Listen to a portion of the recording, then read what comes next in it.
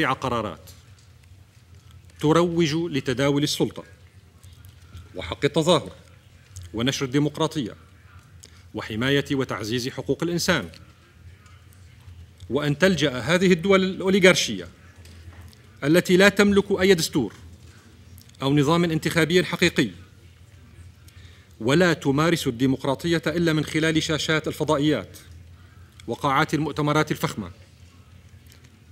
أن تلجأ إلى مجلس الأمن لمطالبة سوريا بالإصلاح والديمقراطية.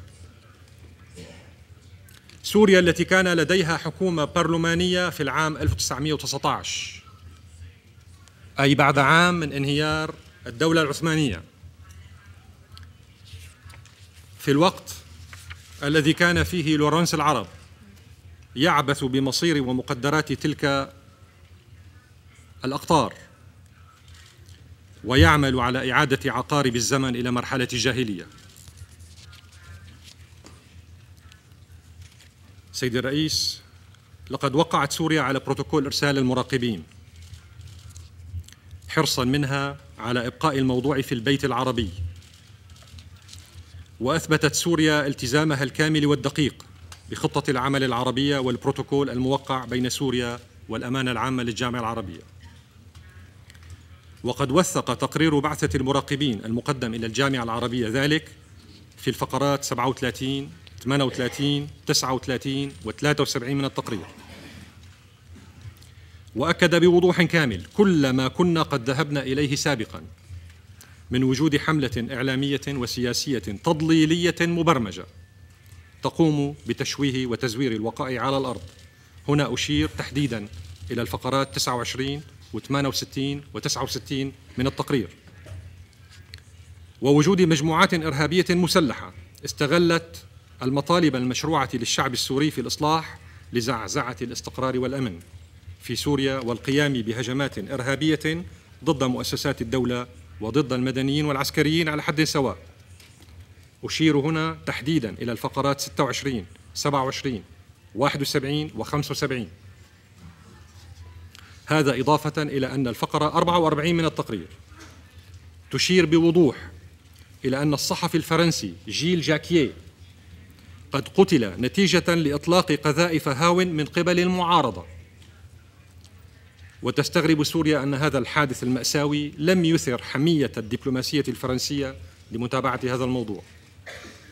خاصة وأن سوريا قد شكلت لجنة تحقيق في هذا الحادث. برئاسة قاض ومشاركة مندوب عن القناة الفرنسية التي يعمل فيها الصحفي المغدور. لقد قرأ السيد الأمين العام لجامعة الدول العربية في بيانه بعض الفقرات لكنني آسف لأنه انتقى من التقرير أشياء وأغفل ذكر أشياء أخرى. أريد أن أقرأ على مسامعكم فقط ما ورد في الفقرة 26 فقط. في بعض المواقف تقوم القوات الحكومية باستخدام العنف كرد فعل على الاعتداءات التي تمارس ضد أفرادها. وقد لاحظ المراقبون العرب قيام جماعات مسلحة باستخدام القنابل الحرارية والقذائف الخارقة للدروع. انتهى الاقتباس.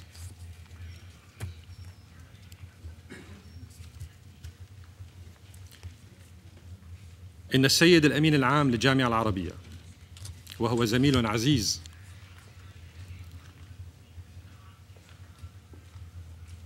اعترض على طلب بعض أعضاء هذا المجلس الموقر بدعوة الجنرال الدابي إلى المشاركة في هذه الجلسة اليوم كما أن تقرير المراقبين العرب لم يرسل إليكم ضمن الوثائق التي أرسلت من مقر الجامعة العربية. سيد الرئيس إن قرار الجامعة الأخير بالذهاب إلى مجلس الأمن ما هو إلا التفاف على نجاح مهمة المراقبين العرب. ومحاولة للقفز عن تقريرها لأنه بكل بساطة جاء مخالفا لمخطط بعض الجهات العربية وغير العربية ممن يدعون زيفا الحرص على الدور العربي في حل الأزمة في سوريا في الوقت الذي عملوا فيه على إفشال مهمة البعثة بشتى الوسائل وشنوا حربا إعلامية وسياسية مركزة ضدها. لا بل إن بعض المسؤولين العرب والأوروبيين قد شككوا بجدوى البعثة قبل بدء عملها. ومنهم السيد رئيس وزراء قطر الذي زار نيويورك وواشنطن وعواصم أخرى بعد أسبوعين فقط من بدء عمل البعثة. مصرحا بعدم وجود فائدة من استمرار بعثة المراقبين ومطالبا بنقل الموضوع إلى مجلس الأمن. هذا في الوقت الذي أبدت فيه سوريا التزاما كاملا ببنود البروتوكول على الرغم من تضاعف عدد ضحايا قوات حفظ النظام والاعتداءات على الأملاك العامة والخاصة ثلاث مرات. بسبب التعليمات التي صدرت للجماعات المسلحة من الخارج باستغلال وجود بعثة المراقبين العرب للتصعيد. إن سوريا ترفض أي قرار خارج إطار خطة العمل العربية التي وافقت عليها سوريا والبروتوكول الموقع بينها وبين الجامعة العربية. وتعتبر القرار الذي صدر عن اجتماع مجلس الجامعة الأخير انتهاكا لسيادتها الوطنية وتدخلا سافرا في شؤونها الداخلية وخرقا فاضحا للأهداف التي أنشئت من أجلها الجامعة العربية. وانتهاكا للمادة الثامنة من ميثاق الجامعة. والمفارقة العجيبة سيد الرئيس أيها السادة هو أن الجامعة العربية قد طلبت من الحكومة السورية تمديد مهمة المراقبين العرب لشهر آخر.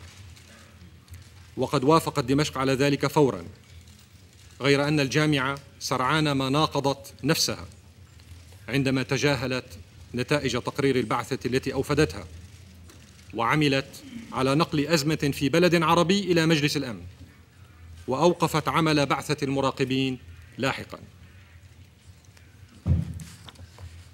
سيدي الرئيس إن النزعة الجامحة لدى بعض الدول الغربية للتدخل في شؤوننا الداخلية والخارجية بشتى الطرق ليست بالنزعة الجديدة أو الطارئة بل هي نهج مستمر ومنتظم منذ اتفاقية سايكس بيكو في العام 1916 ووعد بلفور في العام 1917 مرورا بالدعم اللامحدود الذي تقدمه لإسرائيل في سياساتها العدوانية واحتلالها للأراضي العربية.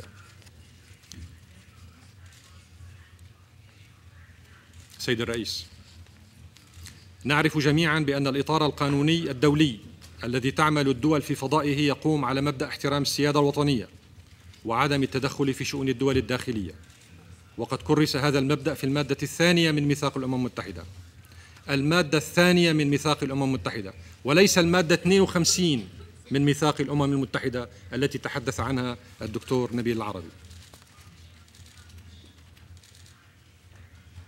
وكذلك في المادة الثامنة من ميثاق جامعة الدول العربية.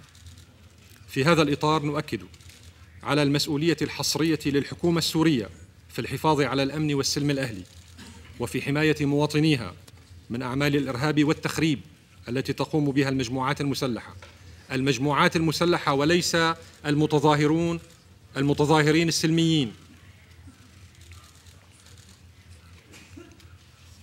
وذلك وفقا للقوانين المعمول بها في سوريا والمعاهدات الدولية التي سوريا طرفا بها. بما في ذلك العهد الدولي للحقوق المدنية والسياسية. وللأسف وبدلا من احترام هذه المبادئ الراسخة في القانون الدولي وفي إطار المحاولات المحمومة للتدخل في شؤون سوريا الداخلية من قبل الدول المتبنية لمشروع القرار الفرنسي ضد سوريا والتي سمعنا عددا من مسؤوليها الذين وقعوا فجأة في غرام الشعب السوري. بعد مرور دولهم في حالة سبات عاطفي عجيب تجاه شعبنا على مدى قرون. يحلمون واهمين بعودة استعمارهم وهيمنتهم عبر مثل هذه القرارات ومن خلال استحداث مصطلحات خاصة بهم لتبرير التدخل في شؤون سوريا الداخلية. وتضليل الرأي العام العالمي تماما مثلما ضللوا هذا الرأي لقتل 130 ألف مدني ليبي. بحجة حماية المدنيين وقتل مليون عراقي باستخدام مختلف أنواع الأسلحة بحجة نشر الديمقراطية والبحث عن أسلحة الدمار الشامل غير الموجودة أصلا وتدمير أفغانستان بحجة محاربة الإرهاب وإقامة السجون السرية والمعتقلات في غوانتنامو وأبو غريب بحجة نشر الحرية.